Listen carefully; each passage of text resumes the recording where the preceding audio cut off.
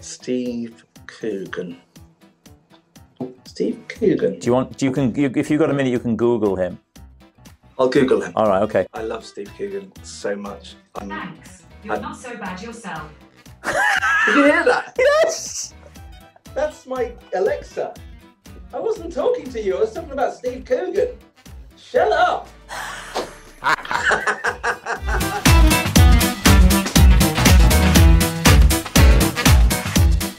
This week's guest is another old friend, somebody that I, I saw on screen before I ever worked with him, and I was kind of amazed by his talent. I ended up working with him. He's a writer, he's an actor, he's a singer, he's a performer. It's Matt Lucas. It's so nice to see you. Yeah, it's nice to see you as well. It's been uh, 13 years. no, it hasn't. Has it? No, No. it's not been 13 years. But you know, you've got um, that picture of Sydney behind you. The last Yeah, time we did a FaceTime chat, you were in Sydney. Do you remember? Yeah, well, now I'm in London in my little. I was living in Los Angeles for seven years, but I've sold my house. You married Rebel Wilson, is that right? People either think we're the same person, or brother and sister, or husband and wife, or all three. We were in Sydney. I was touring last year, and then we had a holiday, and uh, my wife came over with some of the children, the ones that please me. And I was in the restaurant having breakfast, and there was Rebel Wilson. So Oh, I went over to her and did that thing. Hi, you don't know me, but I know your friend Matt Lucas. And it was a bit awkward. She she was nice, but I could tell that it really wasn't adding to her day. um, yeah, it probably wasn't. Joking. I was trying to think of something to say. I think, knowing you as I do, I've always thought that you and I are similar in I think that we were quite well behaved, polite children.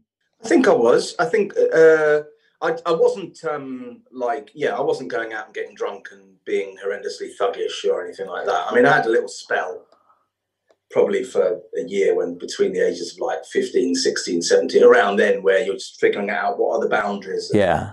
other- Oh, Your friends are doing things that are just a bit naughty and you're like, oh, just a, oh, and it doesn't, no one's telling us off. This is kind of, oh, maybe I should just do that. But it wasn't, it wasn't really in me. But I didn't really want to ever get told off by a policeman, which I never was for anything. So I don't, uh, yes, I think uh, essentially I was quite a good boy. You know that thing where someone does an interview and they say, "Have you ever broken the law?" And they say, "Well, just I don't, you know, a bit of the, ob- the thing everyone does is shoplifting, that sort of thing." What? What do you What do you mean? The way I mean- everybody does? I've never shoplifted. What are you talking about? I know. I've done some murders, but Yeah, I mean, yeah. It was more manslaughter, really. You know. There's a lot of people in the world. I remember when I first saw you as George Dawes on Shooting Stars. Yeah. I was kind of blown away. Oh, who, this, who is this guy? Because you didn't look like anybody else. You, you, Yeah. and, and you were so fully formed. You were so Well, I, audacious. wa- I was sort of, I had everything except actually the jokes. Because actually, what I was was just a bit weird and freaky and wild.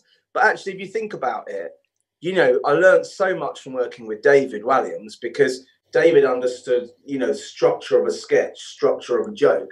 So I had this kind of energy and this do some funny voices or whatever, but I didn't, I was pretty directionless. You know, Shooting Stars was incredible because Vic and Bob would give me freedom to do what I wanted But actually David wouldn't. And that was what was brilliant because we would kind of figure out and, and I would and I would keep him in check as well. We want the laughs. And I think sometimes looking back on Shooting Stars, I could have got better laughs. I could have done better, you know, and so Wow. it's weird. But then, you know, that's just me. And I kind of, I think that when I, wa- I was watching the Bake Off, you know, which had just started hosting, I was like, ah, oh, should have done a gag there. Oh, this, that. Oh, why did you do that? So I think that's also a natural. I think that's all- just that's just you, you were terrific on Bake Off. You've had wonderful write ups about it. You know, it, it's you're you're a hit on it, and it's not easy stepping into those shoes. You say you wanted more laughs, maybe, but you had such charisma and presence, and I would watch you and go, "Wow!" You know, when you'd sit there at the drums and you'd do a thing on the drums, and you'd say, "So and so has this point,"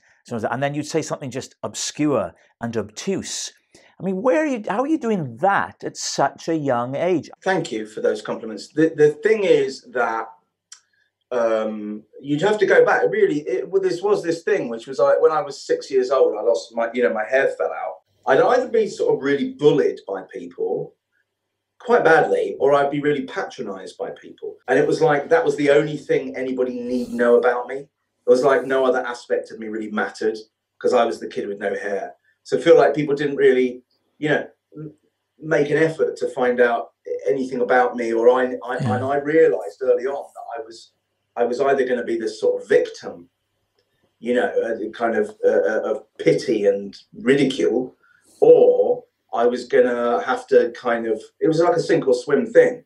I sort of uh, fast tracked right. uh, a, a, personality and character. Yeah, and there were also elements. I had you know quite, quite um, challenging upbringing because you know um, feeling a sense of uh, shame and anger and frustration and confusion about about being attracted to the same sex uh, at a time when you know the law was against yeah. gay people yeah. and you know struggling with you know you, you know doing a lot of comfort eating and do, so i was just sort of um, a lot of neurosis and anxiety and all those things and then but but when i got on stage it was the one place you know through school plays and i did like national youth theatre yeah. where i met david and before that the national youth music theatre doing those that kind of performing was a place where i had some control I should say to you now that this is, I'm learning stuff now too. I, I didn't know you were gay and I didn't know you were bald. So this is quite, well, I, quite the interview for me. I didn't know I was fat. I'm not bald. My hair grows inwards. Nice, nice. Do you remember where we met?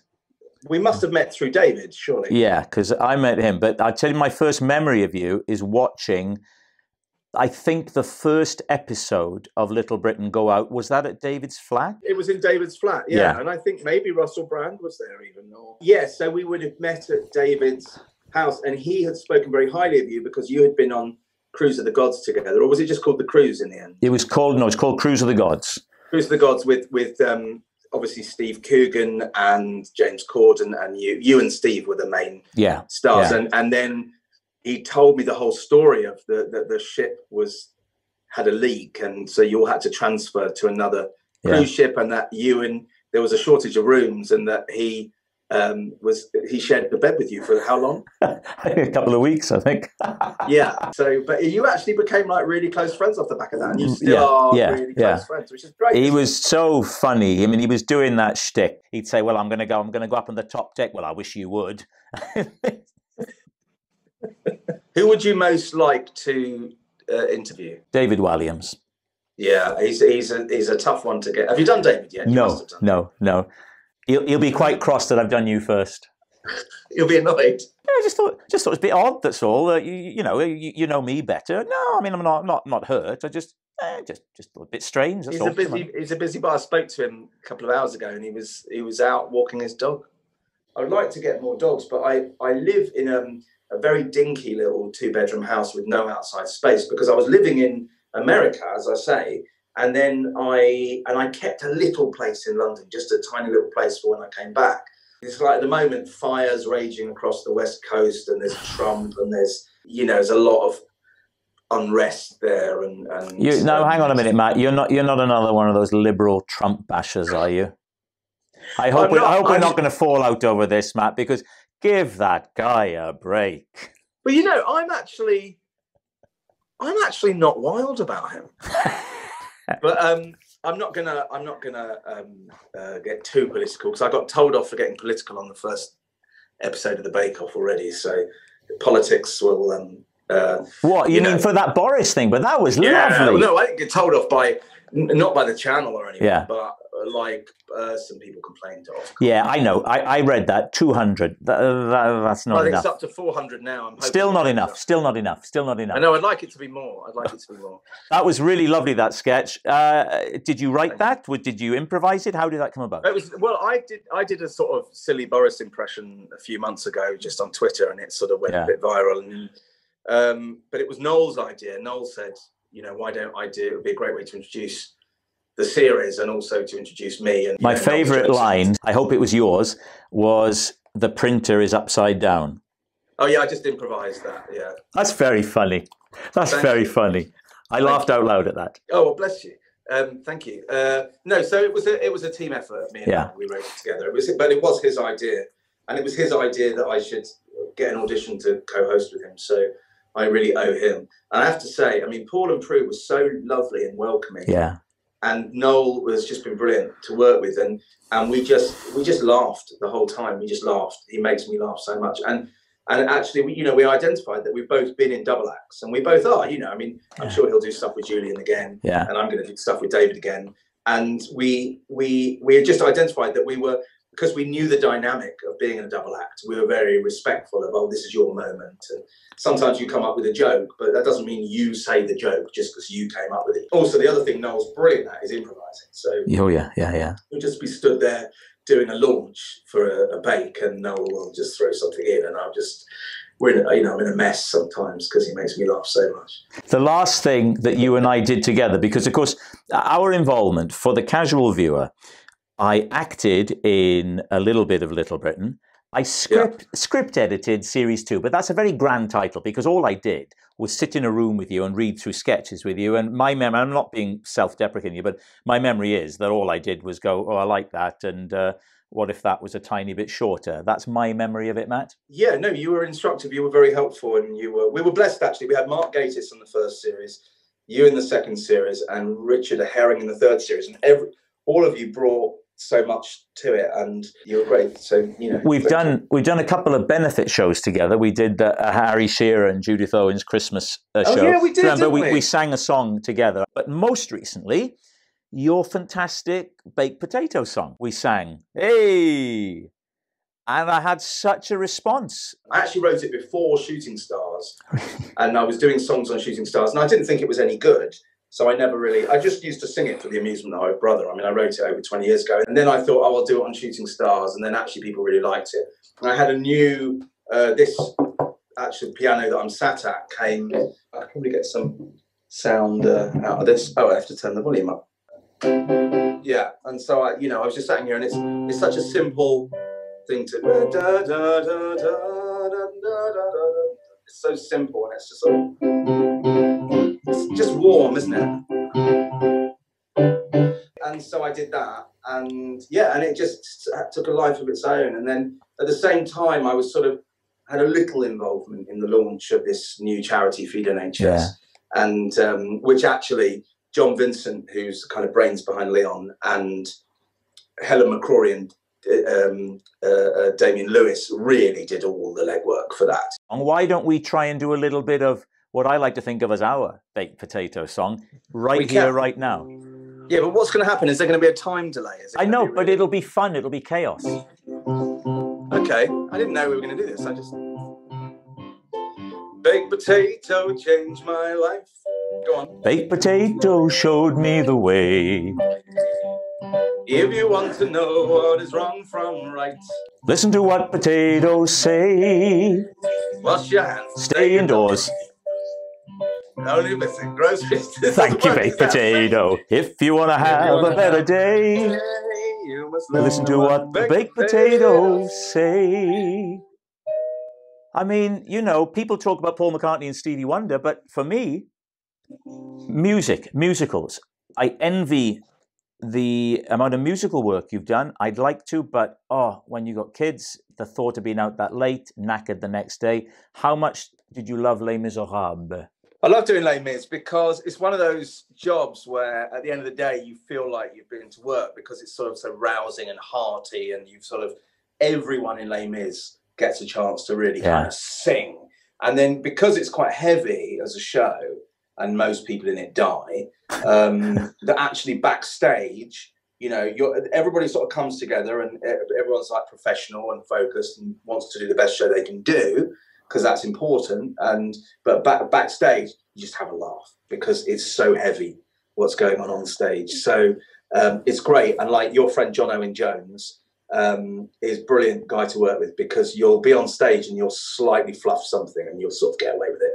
And then John will just come into your dressing room at the interval and bellow out the, the bit that you made a mistake. You know, it's like nobody would. It's not a show where no nobody will mention it gets wrong. When you get it wrong, everyone comes in and they're all just everybody's texting you from their dressing rooms doing impressions of you and everyone's having a laugh and it's also just a brilliant piece of theatre and Yeah. the music i mean Yeah, i've yeah. known that music now since 1985 or something 86 I, I, i'm not bored of it yet Yeah. and i've been in the show countless times it, there's always something new to sing. And i tell you something else that's brilliant about the show is even now you know 35 years on when you go into that show claude michel schoenberg the composer will still come and see it sometimes and he'll still give you notes. I think that's why the show is still so popular because it's because it's alive Yeah. and that's and that's cameron mackintosh right at the very top Well, I spoke to Omid on, on one of these interviews, Omid Djalili, and he did uh, Oliver. And he tells Yeah. a funny story in the interview about ad libbing a line, and it goes in the show report. Cameron finds out, and Cameron was in his dressing room when he came off. What are you doing? Because, of course, I think Omid put a total new line in because you're doing the same thing. He saw, he said he saw there was a bit in the script where he just thought this is crying out for this line. The kids pull out a pair of his stained underwear during You Gotta Pick a Pocket or Two, and they say, Cool, Fagin, these are rotten or something. And, and Omid ad libbed, So would you if you'd spent six hours next to my bollocks. that's not what he actually said is it Uh, something like maybe knackers instead of bollocks, I don't know. wow wow it's hilarious But that's Um, Omid. I mean, he's a force of nature. He, he won't I be tamed. It's hilarious, but you've got to think of Dickens as the source material. here. It's been adorable catching up with you. Before we go, I am a genie. I can give Matt Lucas one wish. Top of your head, what would it be? Where I live now, it's a little house. If I had a house with a big kitchen, I'd really like um, a Mr. Whippy machine in my kitchen. Okay, all right. I'm gonna I'm gonna go away. I'm gonna work on that. I'm gonna try and make you. your dream come true. Thank you. I just would. I just think it'd be really nice. Okay, I, I was I was. You might have said world peace, but hey, Rob, they're about um, two thousand four hundred pounds. I've looked them up. So yeah, I don't think there are any available at the moment. They're really hard to get. quite a lot available. It's the winter. I think the tape is running out. Actually, I'm gonna have to gonna have to cut it short. Um, really nice to catch up with you. Thanks for doing this. And uh, shall we have we have one of our lunches soon? I would love that. Do you know? I've not been to a restaurant or a shop since the beginning of March. I've been properly Really? I've got asthma and I'm a chubby chops, and so I've been really, really anxious. But could we go for a socially distanced walk? Yeah, yeah, yeah. And then when all of this is over, I would love to take you for lunch because it's my turn. Yeah, well, I'm glad you remember. Lovely to see you. Bye bye. Mwah. Social distance walk. I love you. Mwah. Bye bye.